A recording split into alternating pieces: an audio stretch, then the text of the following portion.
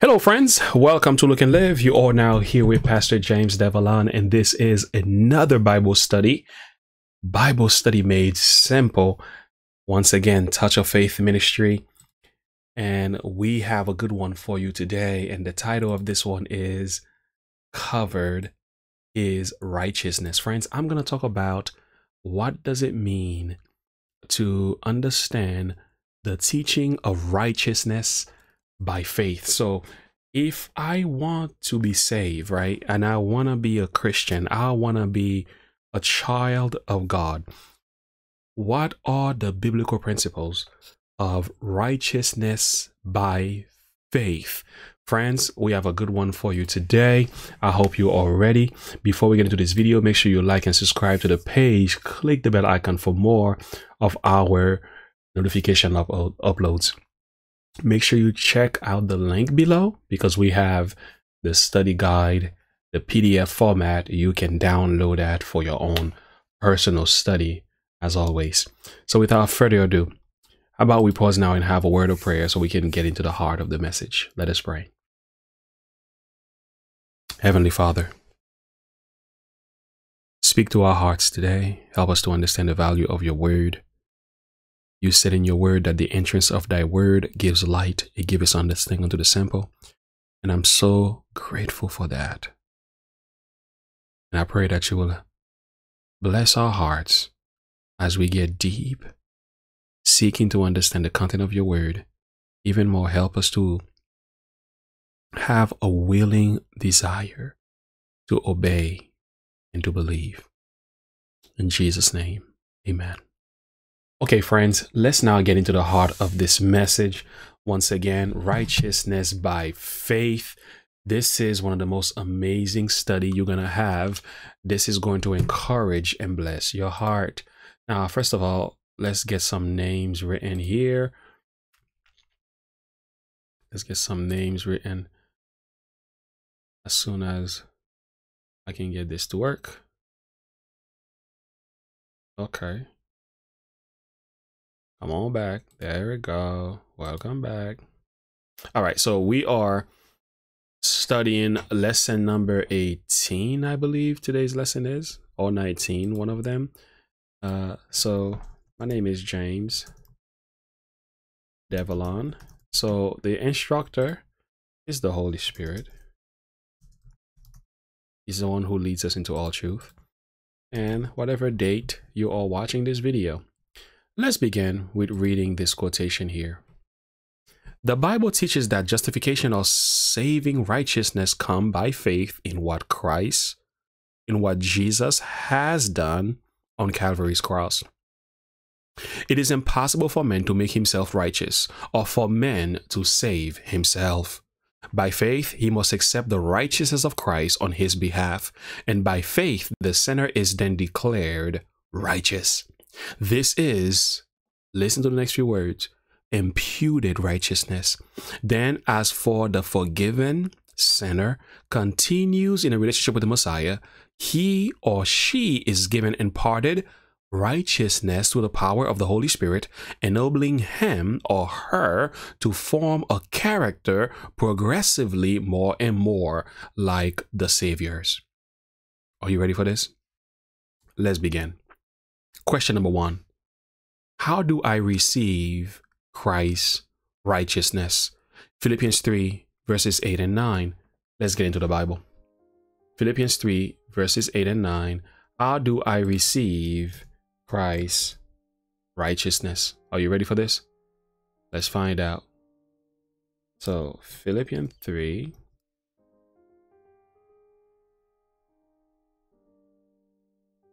All right. So uh, I'm think I'm sure you're hearing some music. Let me let me turn that music off. All right, let's go. Philippians 3 verses 8 and 9 and the Bible reads Yeah, doubtless I count all things lost. Okay, that's correct. I count all things lost all things but lost for the excellency of the knowledge of Jesus Christ my Lord. Let's let's do it again. Let's do it again. I'm just not used to this new Bible format software that I have going on here. Okay, let's do it again. Yea, doubtless. And I count all things but loss for the excellency of the knowledge of Jesus, of Christ Jesus my Lord, for whom I have suffered the loss of all things, and do count them but dung, that I may win Christ. And be found in him, not having mine own righteousness, which is of the law, but that which is through the faith of Christ, the righteousness of God by faith. So, according to this passage, the question we ask is, How do I receive Christ's righteousness?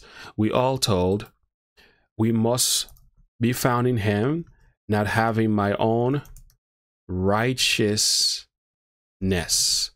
So we don't have our own righteousness. God has uh, the righteousness that we need is something that comes from God. So, in essence, listen to the note. If you maintain your own righteousness, you cannot receive Christ's righteousness. It is one or the other. It both. Now, in the world today, right, there are so many theories when it comes to salvation. There are so many theories that um, people will speak about. Uh, but there are two main real and honest uh, approach when it comes to salvation. It is salvation by good works, right? This is when I choose to be saved by my own effort, trusting and believing the life that I have lived is good enough and God will accept me according to how good of a person that I am. That's called righteousness by works or salvation by good works. That will never be accepted by God. I'm going to explain to you something else. The second part is righteousness by faith, in contrary to that, right? So the opposite of it is righteousness by faith, which teaches that I have no righteousness of my own. I can't save myself. There's nothing I can do to be made righteous, but I can choose to believe in the righteousness of God, which is Jesus. I can actually accept and believe what he has done or who he is has my righteousness. Does it make sense? So I accept what God gives me as a gift and I reject all that I can ever produce as an offering to God. We're going to make sense of this as we go through the study, but that is pretty much the foundation of this thing. So remember, there are two major ways of salvation or two main ways. Only one works, the other one is a deception. Now let's follow. Does my obedience save me? When I obey God, does that save me in itself? Romans 5:19 says, "For as by one man obe- for by one man obedience many were made sinners, so by the obedience of one shall many be made righteous, so that as sin have reigned unto death, so even so even so my grace reigned through righteousness unto eternal life by who? By Jesus Christ our Lord." So let's read the text. Let's go to Romans 5:19. We got our Bible open. Romans 5, verse 19.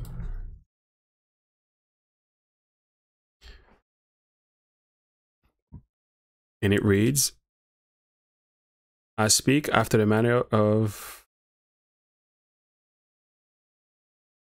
I'm sorry. Let's let's let's look at that again. Ah, let's look at 19. Let's look at verse 21. And it reads, what fruit had ye then in those things whereof you are now ashamed? For the end of all things, I'm sorry. This is, I mean, oh my goodness, I'm in chapter 6. I'm so not used to this Bible. I'm so not used to this software. All right. That as sin have reigned unto death, so even so my grace reigned through righteousness unto eternal life by Jesus Christ our Lord. So look at that. So Jesus is the only means by which we are saved. But get it that there is no amount of obedience that I can render to God to save me. I am saved by the blood of Jesus. You are saved by the blood of Jesus. Obedience is significant, but obedience doesn't make you saved obedience maintain you in a state of salvation. Obedience keep you on a road of salvation, but obedience itself does not save you. Now you got to keep this in mind, okay? So let's continue. We're going to make sense of this. I promise you, we're going to get it. Let's go. It is obedience. It is the obedience of Jesus that is credited to you. The repentant sinner, the repentant sinner, uh, that makes you righteous. Now you got this. I don't have an obedience to render to God for my salvation, but what Christ has done is what God offers to me as a gift of salvation. Let's continue. Question number three When I do all things God commands me, what does that make me? Okay, Luke 17, verse 10 likewise, when you have done all these things which are commanded of you, and say that we are, the word is unprofitable servants. So the point is, let's look at the text 17, 10. So you can say, that I've shown it to you, which I'm sure you know by now. I'm not lying to you about these things. Okay, so likewise, you know, after you've done all these things, we shall commended you. We are unprofitable servants, for we have done that which was our duty to do. So, in essence, you obey the Lord because you are supposed to obey the Lord, right? uh, okay. So it's almost like, uh, if I may say, you go for a job, and after you get hired for the job, and you expect special treatment because you are doing your job. Well, you were hired to do the job in the first place. I know this is a poor analogy, but the point is this you don't do the things you do in order to be saved.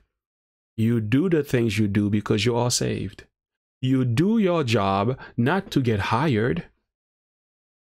You do your job because you are hired. You've been hired. Am I making sense? So, in essence, it's kind of like that's what the call to Christianity is all about. You haven't done anything when you do the things you should have done all along. So when a Christian obeys God, he's just doing what he should have done all along. Every man should be obedient to God. But unfortunately, we are born with a sinful nature. We've departed from God, right? So when you become a Christian, the only thing that's different is that now you're obeying God by faith, right? You're obeying the Lord as you should have but since you didn't have, you didn't have the strength and the faith and the belief to do it, God is now helping you and working through you to carry it out. When you obey the Lord, you are simply telling Him, I believe what you say. You are simply telling Him, I am a son. You are simply telling Him, I am a child of God. I'm a believer. That's all you're simply doing. Well, you're not doing it in order for you to be saved. You're doing it because you are saved. Amen. So, what am I not what am I not saved by? Titus 3, verse 5. Not by works of righteousness which we have done, but according to his mercy, he saved us by the washing of the regeneration and renewing of the Holy Ghost. So there are no works that you can perform as a mean of your salvation. Um, there's nothing you can do to make you good enough for God to accept you. As a matter of fact, God chooses to love you and to accept you by his grace. We're going to get to know what that grace is all about. According to the same verse, what am I saying by? According to the answer is mercy. I'm going to find the text for you in the book of Titus 3. Let's open our Bible now just so you know. You know, I'm not making these things up, right? Because we like the Bible to speak. So we're going to go to Titus Titus, is it Titus 3 or Titus 2? Titus 2. Yeah, Titus 3. So let's look at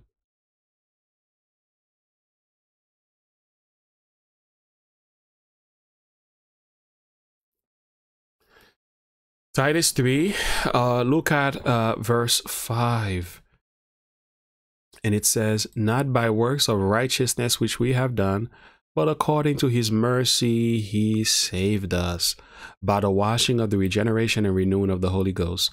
So, what is it that God used to save us? Is mercy. So, there you have it right here. Now, listen to this word. Let's read something to you. This is a quotation coming from a book, uh, a devotional book called Faith and Works. If you will gather together everything that is good and holy and noble and lovely in a man, in man, and then present the subject to the angels of God as acting at part in the salvation of the human soul, or in merit or proposition, will be rejected as treason. Did you hear? Let's keep reading.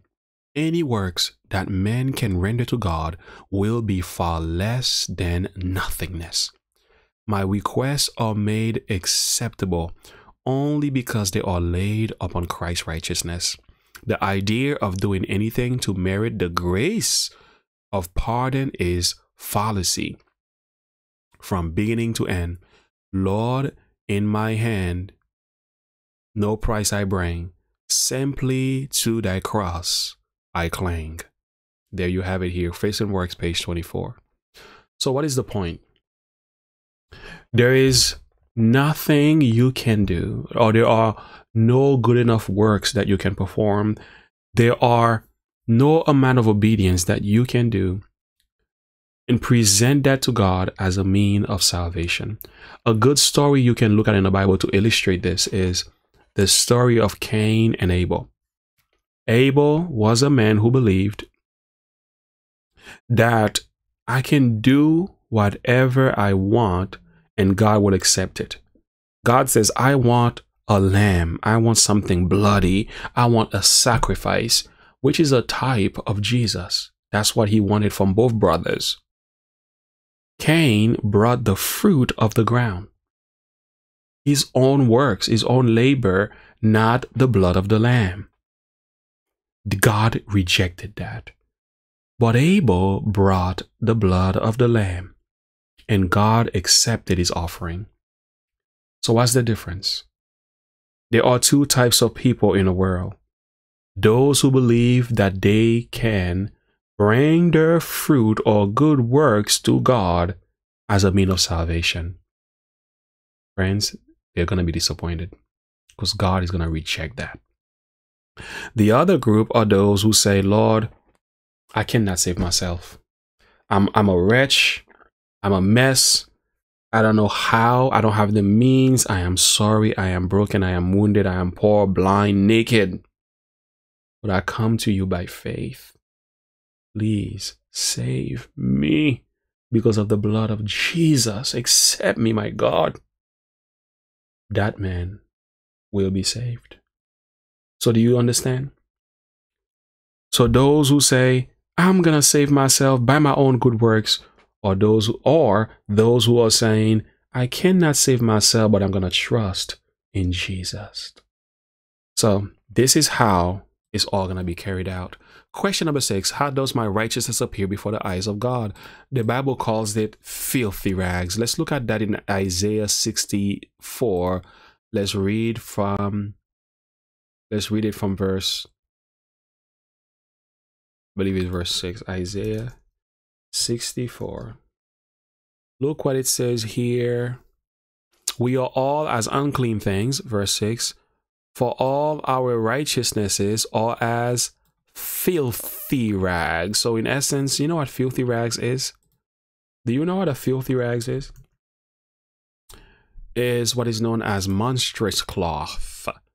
Okay, today uh, we call this as tampon right? That's what we use today. But back then, women used to use the rag to for menstruation, right? For that's right, when they have their period, they use they used to use a cloth. So in essence, when I bring my own good works to God as a mean of salvation, it's like hanging before the eyes of God. Uh, uh, uh, uh this is my mask, but think of this mask as a filthy rag full of blood And he said, Lord, here are my good works. Save me. And God says, That's filthy rags. Get that stuff away from me. Yo. So that's the idea. So you cannot, by your own good works, save yourself from a life of sin. But you can, by faith, be saved by the blood of the Lamb.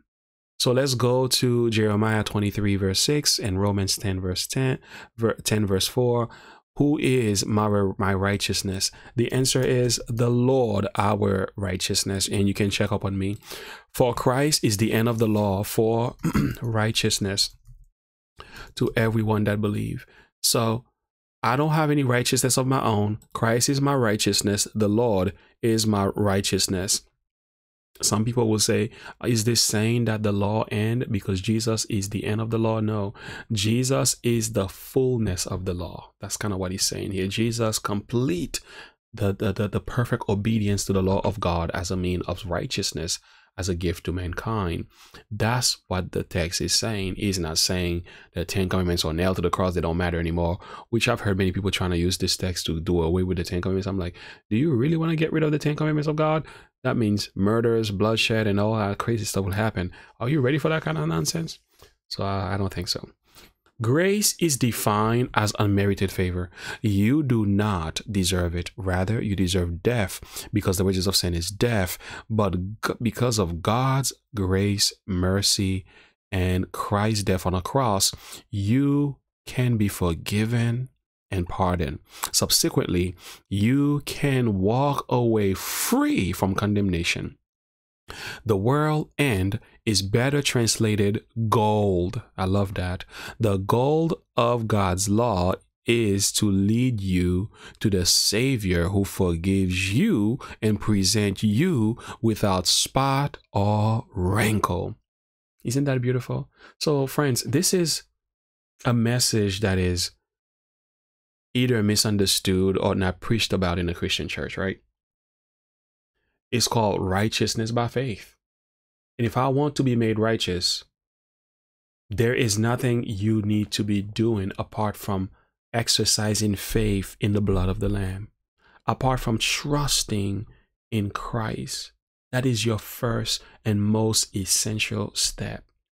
And once you choose to do that, God then merits you with Christ's righteousness as if it is your very own.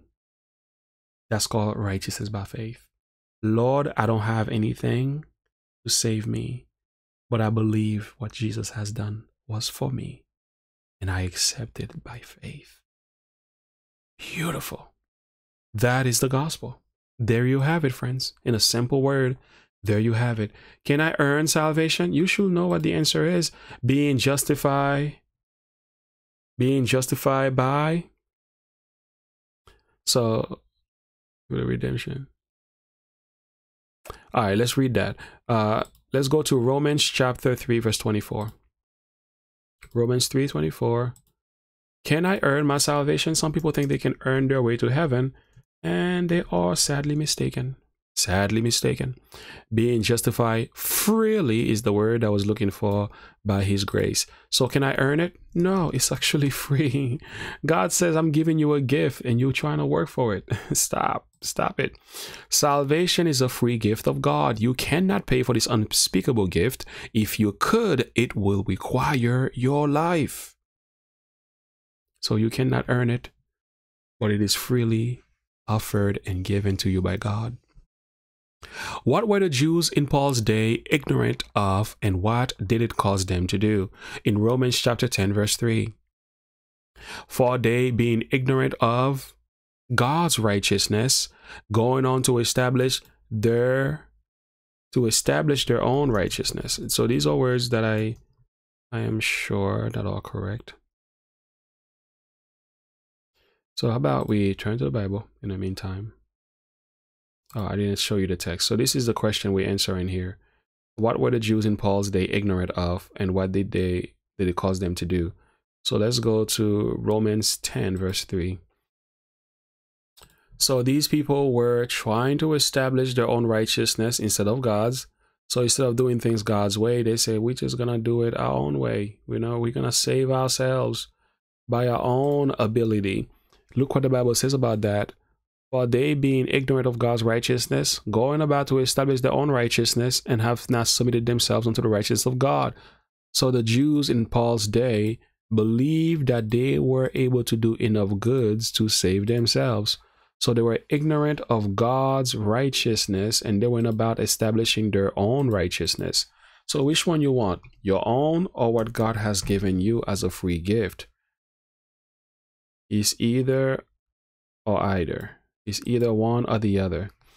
Many well intentioned individuals are trying to establish their own righteousness, even today. They are trying to be saved by eating certain food, wearing particular clothes, returning more than a faithful tithe, preaching to people, etc., etc., etc. Friends, I hope you are listening to the message today that salvation is a free gift and you cannot earn it. You don't deserve it. There is nothing you can do to get there. But if you will reach out with the hands of faith, it is yours. What two things will happen if I attempt to to attain righteousness by my by my works? Romans 9 verse 31 and 32. So what will happen if I try to do that? Romans 9 verses 31 and 32. How about we turn there right now? Romans 9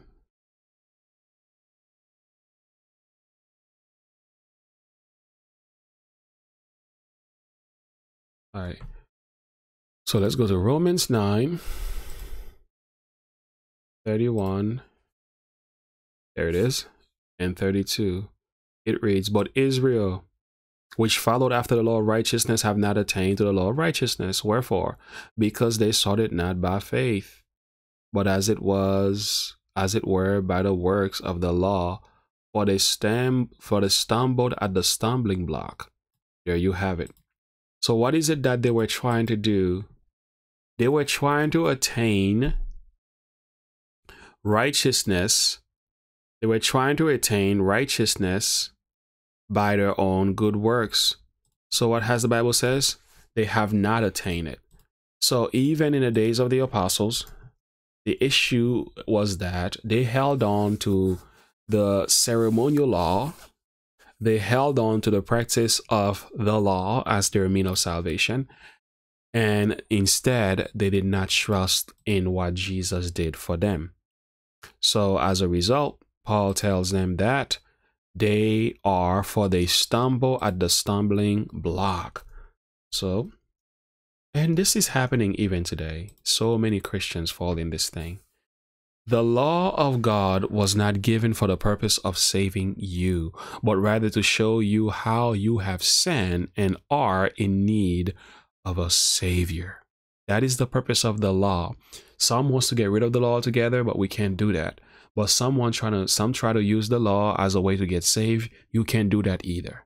Right? So the law has a purpose. The purpose is to help you to see your need for salvation, to point you to Jesus so that you can go and receive righteousness by faith, right? That is the law. But the law is not an issue, though. The problem is God wants us to obey the law once we receive Christ's righteousness. But you cannot use the law as a mean of salvation and reject the righteousness of Christ. That is not how it's supposed to be done. Verse 11 Since I am not saved by keeping the law, do I still need to obey the law? I just answered that question, but for the sake of going along with the Bible study, how about we get to that? Romans 6, 15 and 16. Romans 6, 15 and 16. Are you ready for this? I'm getting a little tired, guys. I'm recording this actually at 1 a.m. in the morning. What then shall we send? Con- shall we send because we are not under the law but under grace, God forbid. Know ye not that to whom you yield yourselves servant to obey him, servant you are whom you obey, whether of sin unto death or obedience unto righteousness. So, what does he said? God forbid. So, in other words, do I get rid of the law because I cannot be saved by the law? The answer Paul says is God forbids that. Like, we have no reason to ever assume because I am saved by the grace of God, for, by the grace of Christ, therefore I can get rid of the Ten Commandments. Big mistake. That's not Bible either. All right. So the answer is God forbid. In other words, don't do it. Don't do it. God is not asking you to get rid of the law. He's just telling you don't use the law as a mean of salvation. But obedience to the law of God is perfectly fine. The Savior's righteousness is never given to be a license to sin. It is extended so that God's law can be established in the heart of the believer. Did you get it? So we did not have the ability to obey the law of God in our own strength. Uh, Romans uh, chapter 8 tells us that there is now, therefore, about verses 1 and 2, Romans chapter 8, verses 1 and 2. There is now therefore no condemnation to those who are in Christ Jesus, who walk not after the flesh, but after the Spirit. For the law of the Spirit of Christ Jesus set me free from the law of sin and death. For what the law could not do, in that it was weak through the flesh, God sent his own Son in the likeness of sinful flesh, and for sin and condemned sin in the flesh, that the righteousness of the law might be fulfilled in us who walk, who walk not after the flesh, but after the Spirit. Now look at this now. God sent the law through Jesus by his grace so that righteousness could be wrought in me. So I'm missing something to obey the law of God, right? I no longer have the strength, the ability, the power, the knowledge, the wisdom to do it. God gave Jesus as a gift, and the life of Jesus is the grace of God. So when I accept Jesus in his saving grace, God now, through the grace of Christ, works in me and empowers me with his Holy Spirit and by the power of his grace to obey the law of God. It's a beautiful concept. So God is doing for men what they cannot do for themselves. God is working in me both to will and to do according to his good pleasure. God is saving me and making me to be more like Jesus according to his saving grace. I don't have my own righteousness, but I can accept God's righteousness, which is not of the law, but the righteousness of Christ by faith. So I can accept this awesome gift, and that gift will work a work of sanctification in me to make me the kind of person that God wants me to be. Simple as that. Let's continue. Question number 12. I don't know why this stuff just goes away like that. What should be my relationship to the law? James 1.25, Whosoever looketh into the law of liberty and continueth not therein is being forgetful error, but a doer of the work. So does God want, us, want me to get rid of the law? The answer is no. What is it going to do? Obey, doer, doer of the law, doer of the work, this man shall be blessed in his day. So God want me to actually do James 125. Let me look at that quickly just so I am sure, but I'm I'm already I want to be made sure. Okay, let's do that. Yep, doer of the work. So I was correct. So God wants us to be a doer of the work of the law once we are saved. You get it?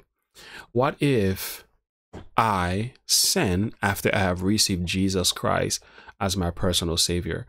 First John 2, verse 1 My little children, this thing I write unto you that you sin not, but if any man sin, we have an advocate. We spoke about this before. So God doesn't want us to keep living in sin, but if we happen to commit sin, which does happen to the Christian man. Okay, it happens. We do wrong, even as believers. So when that does happen, we are told that there is an advocate, there is a lawyer, there is a high priest who represents you so that you can rise above. Let's continue. You may fall into sin, but you have an advocate in heaven. Jesus Christ is serving he is serving as your high priest, pleading your case as long as you, in sincere repentance, turn to Him. Your responsibility is to keep getting up each time you fall. So, friends, you're going to fall. You're going to make mistakes. You don't have to fall. God can keep us from falling. But the thing is, unfortunately, we make decisions and we stumble. And sometimes, you know, The devil has a way of tripping us. Okay, that happens. So when that does happen, what do you do? Don't stay down. Get back up. Keep on wrestling, keep on fighting, keep on going with Jesus because you are on the right journey. So it gets difficult at time. Uh, it gets challenging at time. Temptation will come your way. Trials will knock at your door. Uh, but no matter what's happening in your world, keep in mind that the grace of God is more powerful than the temptation of Satan. So I have many sins. Can Jesus still save me? The answer is yes, he can. Moreover, the law entered that the offense might abound. Where sin aboundeth, grace, grace did much more abound. So the more sin that there is in a life, the more grace is given to the man by God. That's the point. No matter how sinful your life may be, if you allow it, God's grace will much more abound because you need it more. You can't outsend God's grace. Can I say amen to that? You cannot outsend God's grace. Jesus said that all sin can be forgiven. Matthew 12 31. What has Christ, the heavenly high priest, promised if I confess my sins? 1 John 1 9.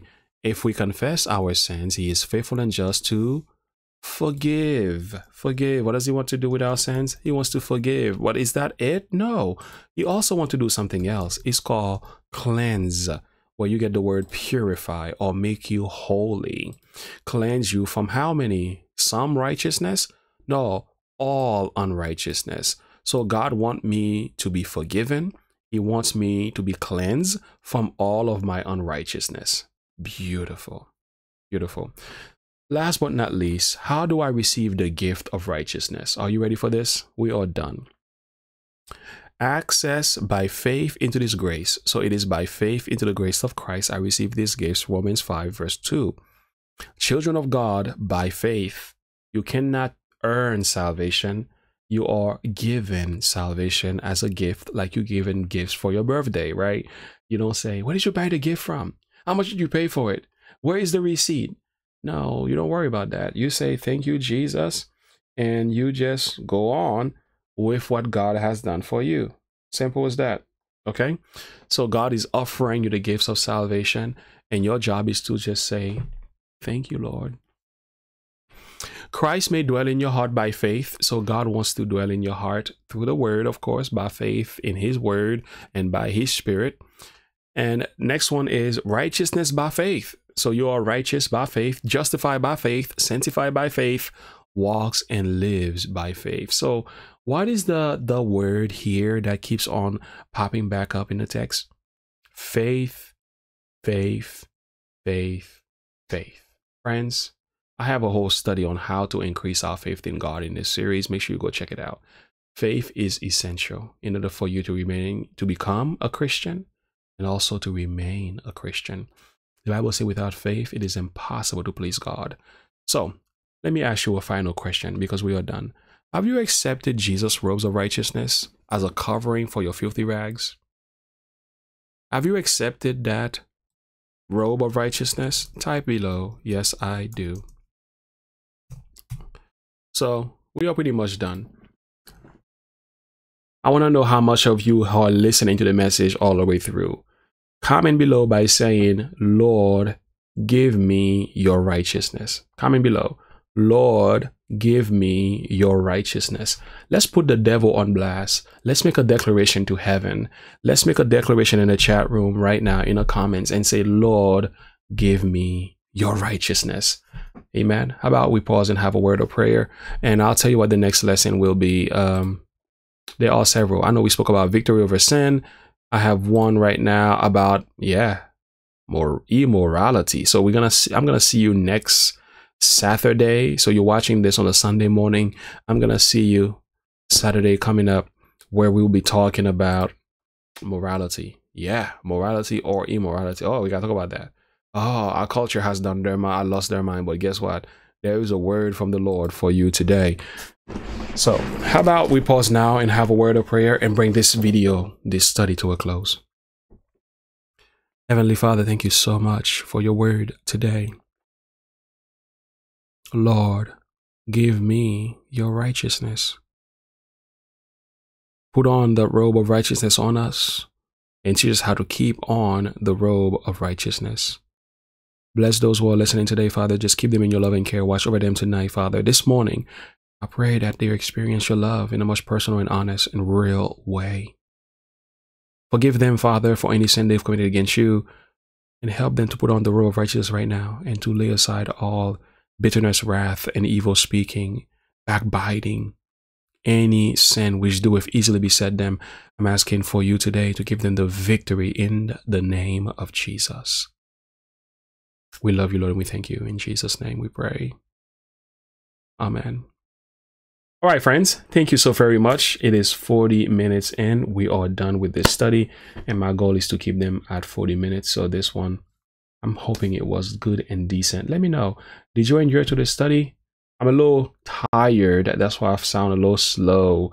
It's been a long day, but I wanted to make sure one o'clock in the morning I'm recording this, and I have to work on a thumbnail afterward to make sure you get your substance in a in a sun, early Sunday morning that the Lord blesses your heart as I try to do this faithfully. So forgive me for my fatigue looking because I lack energy. I've been running around all day yesterday. So I'm ready for bed. But I wanted to make sure that the word of the Lord visits you tonight. Thank you so much for listening. God bless you. Comment below, share your thoughts with me. If you happen to have any question, just send me an email concerning these subjects and make sure you print out the Bible study, please and check up on me, read those verses, and mark your studies and save them in a folder because you might need to give somebody Bible study in the future. You never know. So until next time, and as always, remember to look unto Jesus to live by faith. Have a good one. Bye.